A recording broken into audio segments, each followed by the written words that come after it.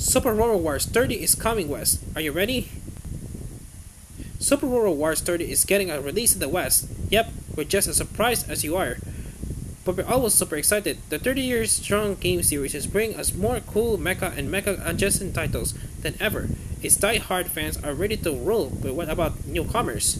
If you caught the trailer and are interested, but don't know the game series, we got you covered. There are a lot of moving parts, squads, missions, upgrades, and the like. But here's what you need to know to start. You'll be leading battles like a big hero before you know it. You don't need to know every show, but it doesn't hurt.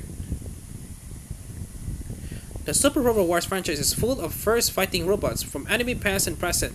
If you're a mecha expert, you might know most, or even all, of the show in the game, but odds are are there be at least one title, like a more, that's completely new to you, and that won't hinder your gameplay at all.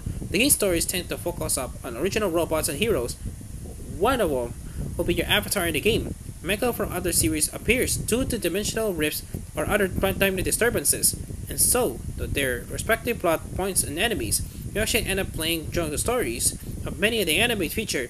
If you don't know them, no problem. You learn more about them as you play. You don't need any foreknowledge to make good use of your units. If anything, Super Robot Wars will give you lots of new shows to watch. However, sometimes knowledge of the show give you an extra boost. Units are allied in the series may have a combo attack at the game. For example, if you're maybe able to guess if it's worth your while attempt to negotiate an enemy over to your team. Think the stage is over. It isn't. The Super Robot Wars games are not short. Expect anywhere from 50 to 60 tactical stages with multiple waves, with visual novel scenes in between. That means that the playtime, which is great, but also means it's easy to get fact out and use up all your power before the real fight begins. It's best to always assume that the second wave is on the way. If not a third, those later waves also come with bigger story relevant bodies. The good news, allies auto drop and during those later waves too. So even if you burn drunk a lot of special abilities and energy early, there's still potential help in the way.